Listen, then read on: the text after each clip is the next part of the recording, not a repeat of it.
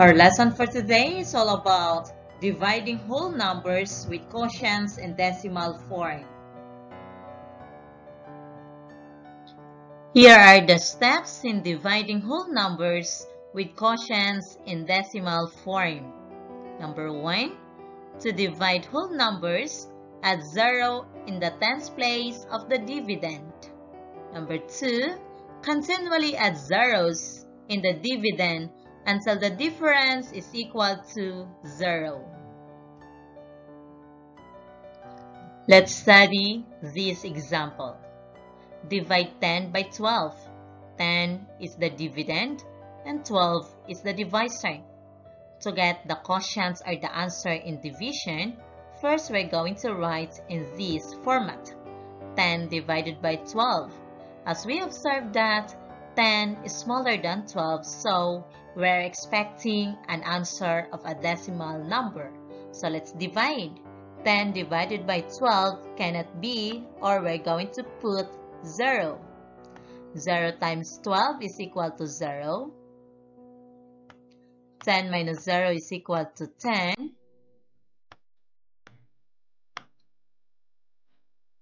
Then we add decimal point and 0 in our dividend. And we're going to affix also decimal point in our quotient. Then bring down 0.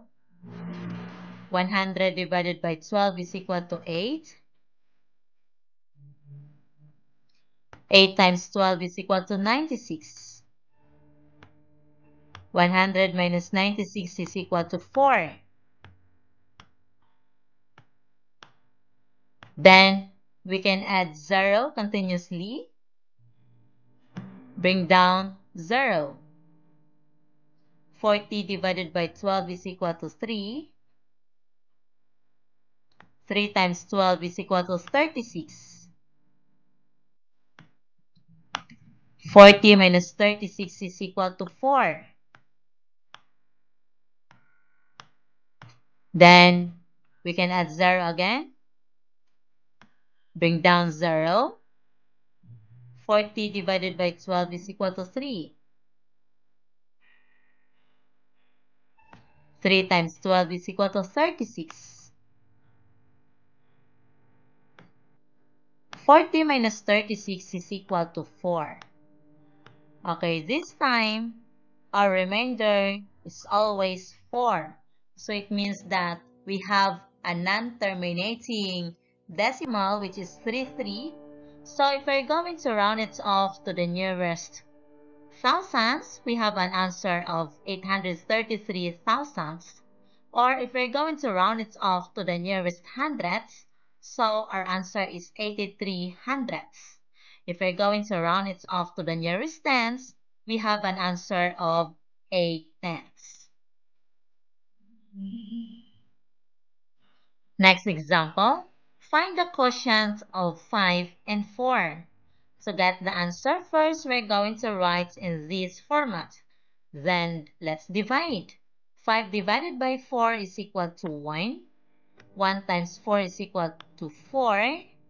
5 minus 4 is equal to 1. We have still a remainder, so we can add decimal points and 0 to our dividend. And we're going to affix the decimal point in our quotient. Then bring down 0. 10 divided by 4 is equal to 2. 2 times 4 is equal to 8. 10 minus 8 is equal to 2. Then we can add 0 again bring down 0. So 20 divided by 4 is equal to 5. 5 times 4 is equal to 20. 20 minus 20 is equal to 0. Or we don't have a remainder. Therefore, if we're going to divide 5 by 4, the quotient is 1 and 25 hundredths. I hope that you understand our lesson for today. And if you are new in this channel, don't forget to subscribe, like and share this video, and click the notification bell so that whenever I uploaded a new video, you will be notified. Thank you for watching!